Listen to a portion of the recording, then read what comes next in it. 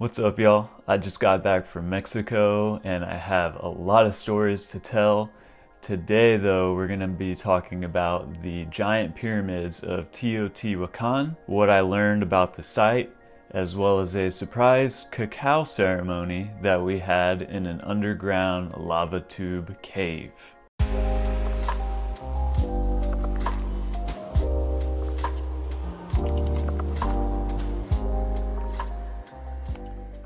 Mexico really blew my mind.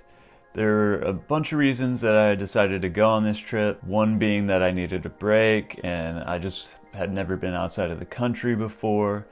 And I'm very fascinated by the ancient Mesoamerican cultures like the Aztecs, the Maya, all of that, right? So when I went, that was primarily what my trip focused on was going to the museums and learning about these ancient cultures and boy did I get that. I took a tour of the pyramids with a local guide who grew up there in Teotihuacan. His name is Alejandro. Not only were the pyramids impressive, but I started to learn more about the engineering and the things and the beliefs behind the pyramids and that was even more impressive. So let's get into the story. So Teotihuacan, if you don't know about it, is about 35 miles north of Mexico City, and its heyday was from 100 BC to 400 AD. Because of a lack of records, very little is actually known about the specific people who created these pyramids which adds even more mystery and awe to this whole thing. The main things that you see when you get to the pyramids are the Temple of the Serpent or the Temple of Quetzalcoatl, Quetzalcoatl, Quetzalcoatl the Avenue of the Dead, the Pyramid of the Sun, and the Pyramid of the Moon. And all of these are kind of connected in a giant series of complexes and there's a bunch of like other platforms and stuff there. So when we first arrived to Teotihuacan, the host had us standing right outside of the Temple of the Feathered Serpent, and to the left of us was what he said was called the Avenue of the Dead. So we were actually there the day after Day of the Dead, so he really made that a point, and he said that the even though it was the morning and the road looked empty, that it was full of the spirits of the dead who were making their journey during Dia de los Muertos. Which, if you don't know too much about the holiday, it's not exactly like Halloween, but the idea is that you are wishing the dead well in their journey to the afterlife. So, a lot of traditions have you doing a little trail of flower petals that's kind of leading the way to where the dead would be walking. So things like that. And looking down the Avenue of the Dead, you can see a giant dormant volcano in the background. So we ascended the first set of little stairs that brings us into a big plaza. And in the back of this plaza is the temple of the feathered serpent, aka Quetzalcoatl. Our host Alejandro began talking about how this whole complex was connected to nature and the elements. Just like you hear the pyramids of Giza are built in order to align with the constellation, this culture was also very astronomically minded, as well as thinking of other elements. Rain, as it turns out, and water turn out to be a very big one. He described how the entire complex was built to utilize water in different ways. The plaza near the Temple of the Serpent where we were standing at first, one of the archaeologists who studies this area believes that it was used to create a shallow pool of water. So they use this shallow pool of water to reflect the stars and the moon above them in order to study it better. So there's probably practical reasons for that, like it's easier to look down as opposed to straining your neck and looking up.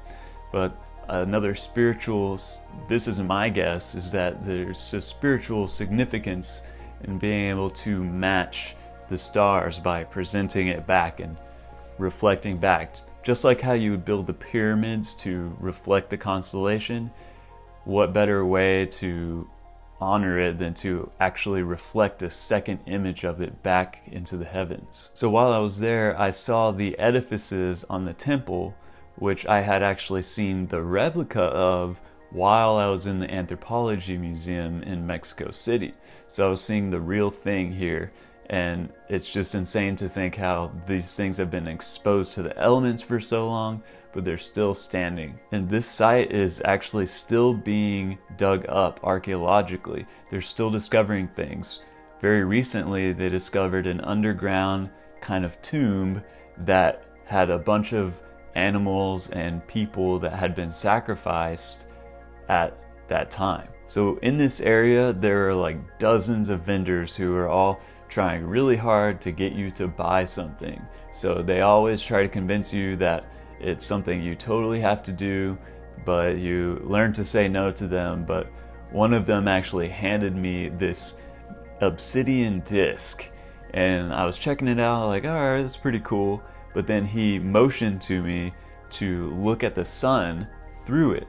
And so I did, and I looked through this obsidian disc, and it's like one of those uh, things where you can see the solar eclipse. Like you could just look directly at the sun through this black disk, which looking through normally you wouldn't be able to see anything, but it was just thick enough to where the sunlight could penetrate and you could look directly at the sun. And obsidian was a super valuable trade item for these ancient people because there was a obsidian quarry where they could get that rock nearby.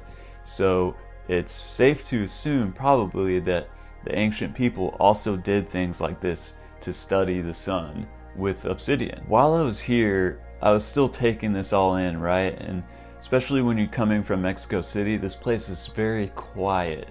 And mostly all you can hear is the breeze and vendors trying to sell things and a lot of the vendors were making these animal noises too. All in all, it had a very mysterious air and a gentle, cool, crisp quality to it all. And it's a really nice feeling that I think you just have to be there to feel it. The mystery of the ancients is just appalling. It was incredible to me that they are able to build things this advanced and huge without the modern tools that we have for construction. And it just shows how brilliant humans have always been.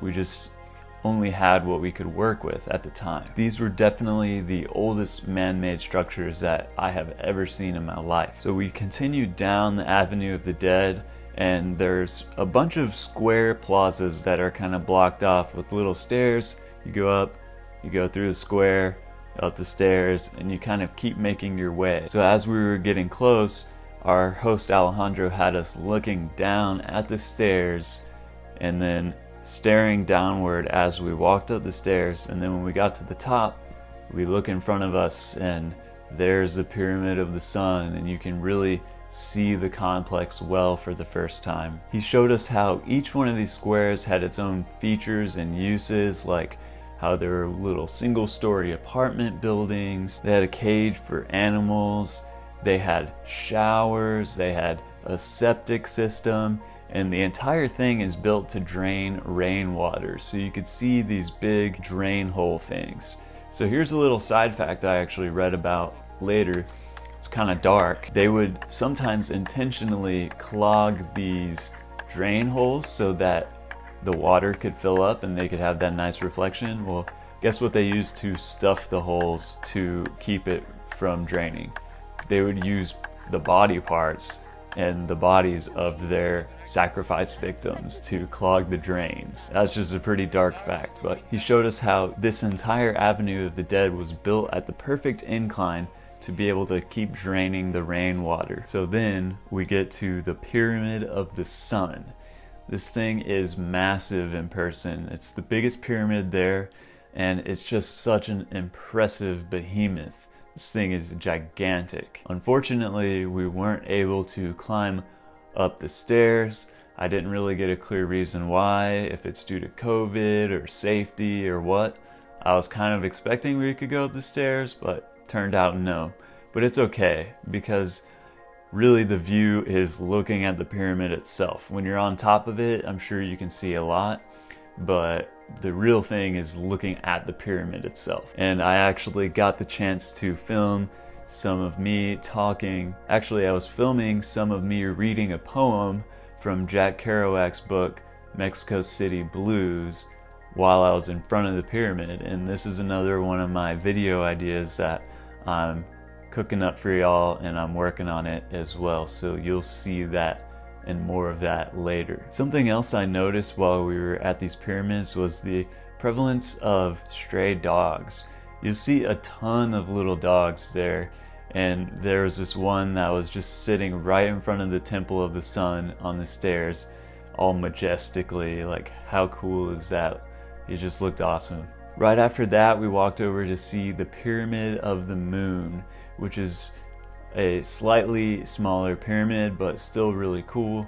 And it's surrounded by all of these platforms that are exactly the same height.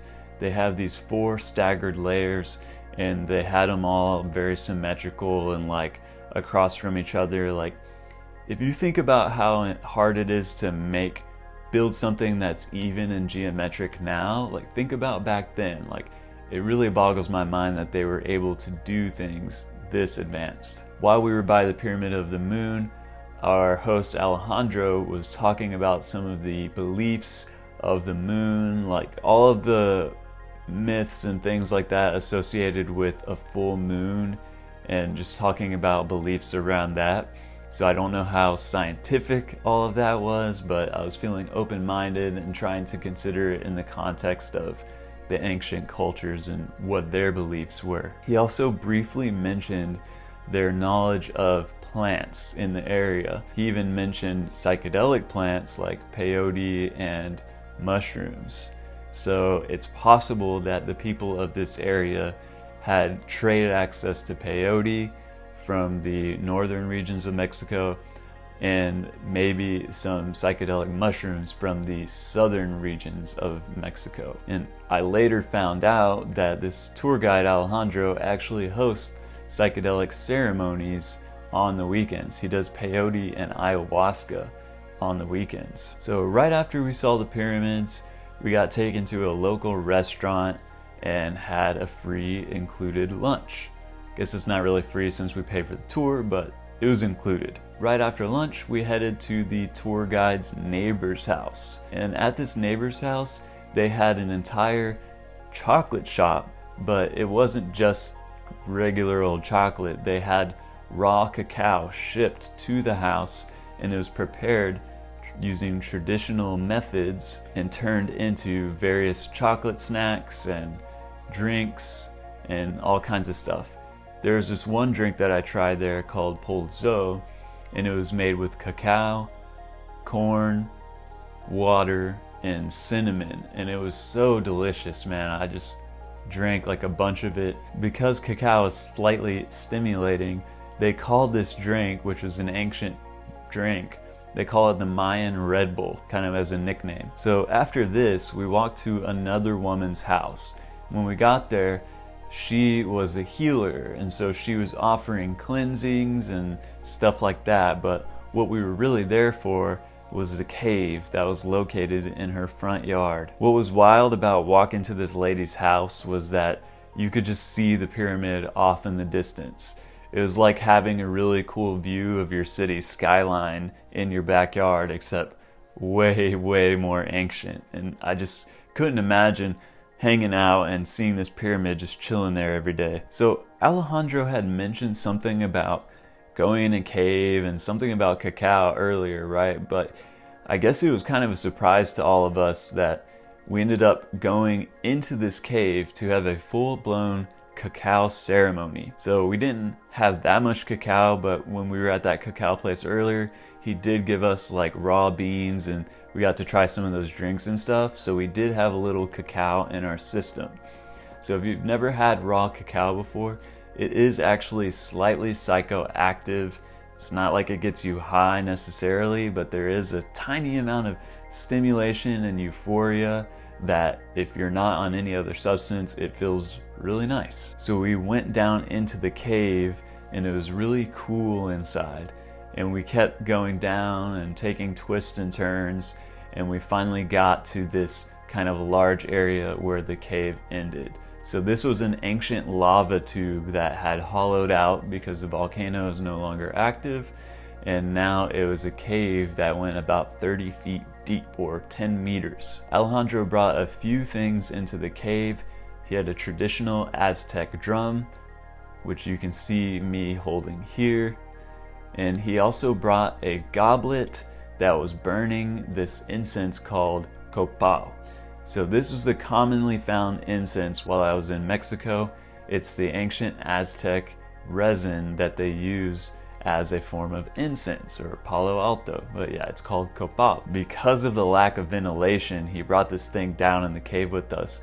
I feel like we were hotboxing this cave with copal. I felt like I might not be getting enough air, but I kept myself calm. And I feel like right as the cacao started to kick in, Alejandro began the ceremony. It started off with them singing and playing the drums. They were singing in the Aztec language called Nahuatl. I don't know if I'm saying that right, but they were also singing singing some songs in Spanish. And the theme of the songs, from what I could understand in Spanish, it was about connecting to the elements and connecting to your ancestors. And he had turned off the candles, so we were just sitting in the dark in this cave underground with a group of people and listening to them sing in this unknown language and playing the drums and it went on for about 10 minutes and it became very trance like. The songs in the darkness definitely primed my mind for ritualistic intention and I was in a meditative trance. So after the song stopped, he kind of went into a guided meditation. And this is where I could really tell that this guy hosts psychedelic ceremonies because it definitely had that kind of sense of things. Like everyone's on their own inner journey, but he's kind of narrating it a little bit. The meditation was focused on connecting to your personal inner child, actively visualizing your own inner child inside.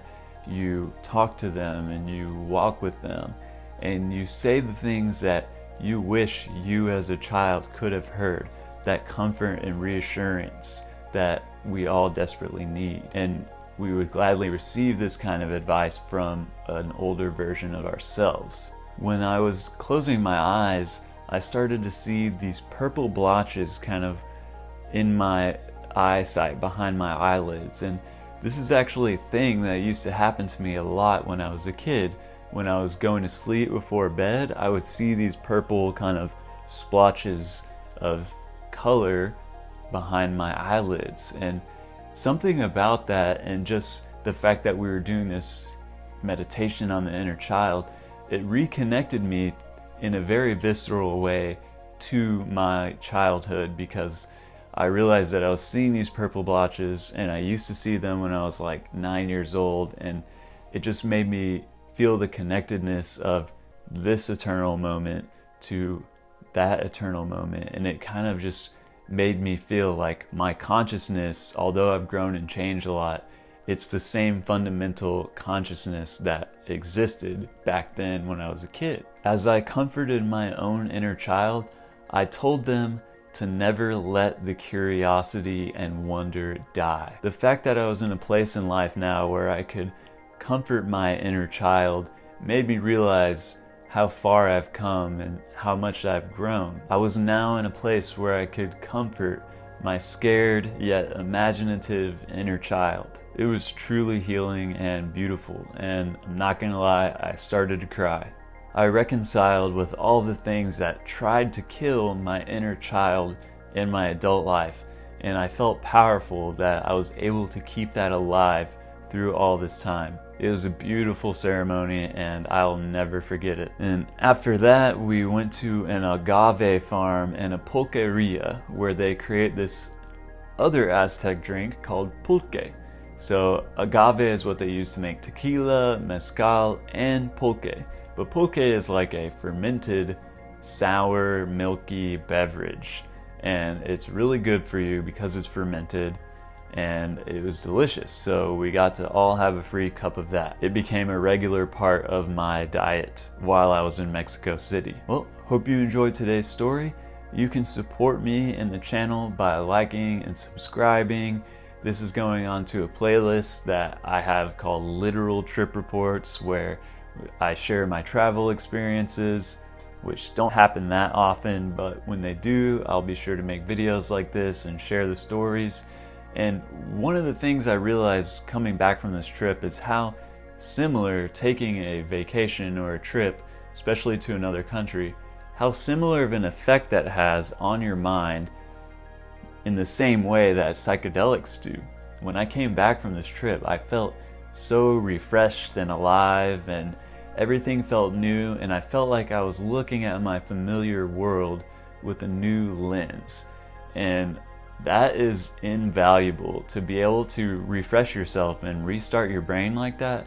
I think is vital for just the sanity and mental health of people. So I encourage you to go travel wherever wherever that is, even if it's within your own area, but just somewhere else. Like go get out of your comfort zone and go explore, and you will feel the same positive benefits that you do from psychedelic trips. So thanks for watching my video. I appreciate all of you who watch this and leave comments and interact and I've met a few of you in the Discord server now. So thanks so much and I'll see you in the next video. Peace.